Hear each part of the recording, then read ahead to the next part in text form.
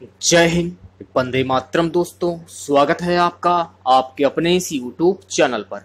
गाय आठ बज चुका है, जो भी बच्चे ऑनलाइन आ गए तो प्लीज़ मैसेज कर दीजिए, जिससे कि हम लोग अपना आज का वीडियो स्टार्ट कर सकें। तो आज के इस वीडियो में हम लोग सीआरपीएफ पैरामेडिकल स्टाफ 2020 की परीक्षा के लिए मोस्ट इंपॉर्टेंट करंट अफेयर्स के क्वेश्चन डिस्कस करेंगे। 2021 में ऐसे ही क्वेश्चन पूछे जाएँगे। परीक्षा की जो है अगस्त सितंबर में आयोजित की जा सकती है। तो वीडियो को कंप्लीट बिना स्किप के पूरा ज़रूर देखेगा आप लोग। वीडियो अच्छा लगे, वीडियो को लाइक और शेयर ज़रूर करें। चैनल पर नए हैं तो चैनल को सब्सक्राइब कर लें। पास ही में आपके बेल आइकॉन होगा, उसको भी दबा लें। इससे आने वाली नए वीडियो नोटिफिकेशन आप सभी लोगों तक आसानी से पहुँच जाएगी। पहला क्वेश्चन बनता है, किस संस्था द्वारा पृथ्वी अवलोकन उपग्रह R I S A T space two B R two और नाइन अन्य ग्राहक उपग्रहों को लॉन्च किया जाएगा। तो ऑप्शन है इसरो के द्वारा लॉन्च किया जाएगा। अगला है चीन। किस क्षेत्र में दुनिया का सबसे अधिक ऊंचाई वाला क्लाउड कंप्यूटिंग डाटा सेंटर बना रहा है? तो कौन सा हो जाएगा इसका? Option C Tibet. भारतीय सेना द्वारा secure application for internet S A I नाम से एक मैसेजिंग मोबाइल एप्लीकेशन लॉन्च किया गया। इस ऐप को किसके द्वारा विकसित किया गया है? ऑप्शन ए, कर्नल शंकर के द्वारा। 29 अक्टूबर 2020 को केशु भाई पटेल का निधन हो गया। वे किस राज्य के पूर्व मुख्यमंत्री थे? तो ये थे गुजरात। भारत ने मध्य एशियाई देशों में प्राथमिकता वाली विकास परियोजनाओं के लिए कितने अरब अमेरिकी डॉलर की आर्थिक सहायता देने की घोषणा की है? ऑप्शन ए, एक अरब अमेरिकी डॉलर। किस संस्था द्वारा electricity access in India and benchmarking distribution utilities की रिपोर्ट जारी की गई? तो नीति आयोग। अगला क्वेश्चन बनता है पुरुष वर्ग में 100 मीटर के विश्व चैंपियन क्रिस्टियन कोलमैन पर डोपिंग नियंत्रण से जुड़े तीन नियमों का उल्लंघन करने के लिए कितने वर्षों का प्रतिबंध प्रतिबंध लगाया गया है? तो ऑप्शन सी, दो वर्षों का।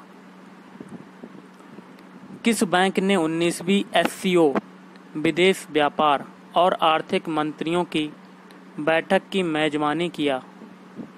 Option B Bharat.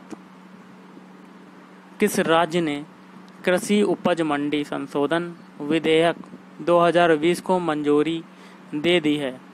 तो छत्तीसगढ़। अगला क्वेश्चन है, कौन सा राज्य प्रधानमंत्री स्वनिधि योजना को लागू करने वाला पहला राज्य बन गया है? तो उत्तर प्रदेश। केंद्रीय शिक्षा मंत्री रमेश पोखरियाल निशंक ने किस राज्य में DST IIEST solar PV hub का उद्घाटन किया? तो पश्चिम बंगाल, केंद्रीय सतर्कता आयोग द्वारा कब से कब तक सतर्कता जागरूकता सप्ताह मनाया गया? तो 23 अक्टूबर से 2 नवंबर 2020 तक। भारत सरकार द्वारा विवाद से विश्वास योजना के तहत भुगतान करने की सीमा समय सीमा कब तक बढ़ा दी गई है? ऑप्शन ए, इकतीस मार्च 2021 तक। अब हम लोग कुछ और क्वेश्चन करेंगे। गाइस अगला क्वेश्चन है आपका। भारत और अमेरिका, नासा और इसरो सिंथेटिक अपार्चर रडार जिसको कहते हैं N I S A R उपग्रह को कब तक लॉन्च करेगा? ऑप्शन बी 2022 तक। क्वेश्चन है गाइस किस राज्य सरकार द्वारा अंतर्जातीय विवाहों को बढ़ावा देने हेतु सुमंगल पोर्टल लॉन्च किया गया? ऑप्शन भी हो जाएगा, ओडिशा। भारत के किस सदस्य ने छठे ब्रिक्स संसदीय फोरम 2020 में भाग लिया? तो ओम बिड़ला किस संस्था को UN global climate action award 2020 से सम्मानित किया गया है। तो सभी को मतलब Luxembourg green exchange, C forty शहर, वित्त सुविधा, ग्लोबल हिमालयन एक्सपेंडिशन किस व्यक्ति ने अमेरिकी सुप्रीम कोर्ट की 115वें न्यायाधीश के रूप में शपथ ली? तो option C Amy Coney Barrett किस देश ने डॉक्टर हरिवंश राय बच्चन के नाम पर एक चौराहे का नाम रखा है? तो पोलैंड। अगला है tribal cooperative marketing development federation of India, या ट्राईफेड कह सकते हैं, ने कितने नए वन जैविक उत्पाद लॉन्च किए? तो हंड्रेड। अगला है, किस संस्था द्वारा रूपे फेस्टिव कार्निवल लॉन्च किया गया? तो एनपीसीआई। किस राज्य ने प्रधानमंत्री स्वनिधि योजना में प्रथम स्थान हासिल किया है? तो उत्तर प्रदेश। किस देश ने नो मास्क, नो सर्विस नीति को लागू कर दिया है? तो बांग्लादेश। किस खिलाड़ी ने पुर्तगाल पुर्तगाल grand premier formula one race जीतकर अपने कैरियर की बानवी जीत दर्ज करके माइकल सुमाकर का रिकॉर्ड तोड़ दिया है। तो लुइस हैमिल्टन। अगला है प्रधानमंत्री नरेंद्र मोदी द्वारा वीडियो कॉन्फ्रेंसिंग वीडियो कॉन्फ्रेंसिंग के माध्यम से किस राज्य में किसान सूर्योदय योजना का शुभारंभ किया गया? तो गुजरात। भारत सरकार ने कितने नए बॉर्डर आउटपोस्ट स्थापित करने की मंजूरी दे दी है? तो सैतालीस। किसको अंतर्राष्ट्रीय श्रम संगठन आईएलओ के शासी निकाय के अध्यक्ष के रूप में चुना गया है? तो अपूर्व चंद्रा। किस देश को 35 वर्षों के लंबे अंतराल के बाद अंतर्राष्ट्रीय श्रम संगठन इंटरनेशनल ऑर्गेनाइजेशन के शासी निकाय की अध्यक्षता मिली है। तो भारत। किस देश की संसद ने दो दिवसीय बहस के बाद दो तिहाई बहुमत के साथ विवादास्पद बीसवा संविधान संशोधन पारित कर दिया है? तो श्रीलंका। किस मंत्रालय द्वारा दक्षिण एशियाई देशों के लिए फ्लैश फ्लड गाइडेंस सेवाओं को समर्पित किया है। तो पृथ्वी विज्ञान मंत्रालय। क्वेश्चन है, हिमाचल प्रदेश के किस ज़िले ने प्रधानमंत्री ग्राम सड़क योजना, पीजी सॉरी पीएमजीएसवाई के सफल कार्यान्वयन में देश के 20 जिलों में शीर्ष स्थान प्राप्त किया? तो ऑप्शन भी हो जाएगा, मंडी। रक्षा अनुसंधान और विकास संगठन डीआरडीओ ने किस स्थान से तीसरी पीढ़ी की anti tank guided guided missile Nag का अंतिम परीक्षण सफलतापूर्वक किया?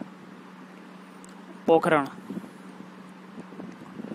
केंद्र सरकार ने पहली बार किस राज्य क्षेत्र में पंचायती राज अधिनियम को अपनाने की मंजूरी दे दी है? तो जम्मू कश्मीर। किस राज्य के मुख्यमंत्री ने नाबार्ड के साथ साझेदारी में राज्य में एकीकृत आदर्श कृषि ग्राम योजना का उद्घाटन किया है? तो उत्तराखंड। किस राज्य सरकार द्वारा राज्य के अस्सी हज़ार रुपये सरकारी स्कूलों के लिए स्मार्ट ब्लैक बोर्ड योजना का शुभारंभ किया? तो तमिलनाडु।